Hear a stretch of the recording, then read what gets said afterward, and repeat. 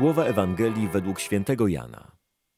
Jezus powiedział do faryzeuszów: Ja jestem dobrym pasterzem. Dobry pasterz daje życie swoje za owce.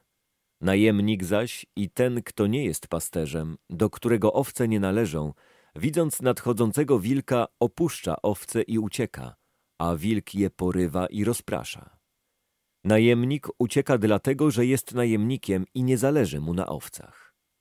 Ja jestem dobrym pasterzem i znam owce moje, a moje mnie znają. Podobnie jak mnie zna ojciec, a ja znam ojca.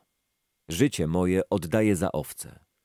Mam także inne owce, które nie są z tej owczarni.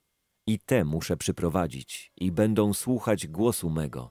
I nastanie jedna owczarnia, jeden pasterz.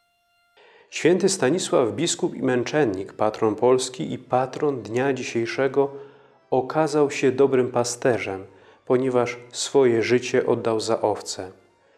Niedawno, kilka dni temu, czytaliśmy ten fragment dobrej nowiny, odnosząc jej słowa do osoby Chrystusa.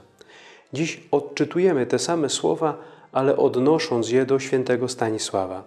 Sam Jezus przecież powiedział, abyśmy szli za Nim i Go naśladowali.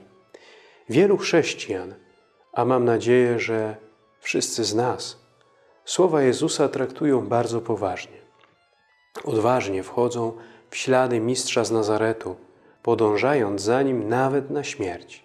Święty Stanisław jest przykładem takiego właśnie życia, całkowicie oddanego Chrystusowi, aż po ofiarę z własnego życia.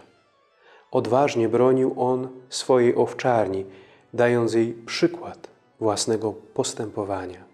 Święci to osoby prawdziwie i głęboko zjednoczone z Chrystusem. Nadrzędną zasadą, która determinuje ich działanie i całe życie jest miłość. Miłość ofiarna to taka, która jest zdolna znieść wszelkie upokorzenia, wyrzeczenia, jest nastawiona na dawanie siebie w sposób bezinteresowny, nie spodziewając się niczego w zamian. Święci upodobnili się do Chrystusa, ponieważ przeszli przez kenozę, uniżenie, ucząc się pokory i miłości od samego Jezusa. Wszystko, co ludzkie w nich obumarło, a zmartwychwstało w nich podobieństwo do Pana.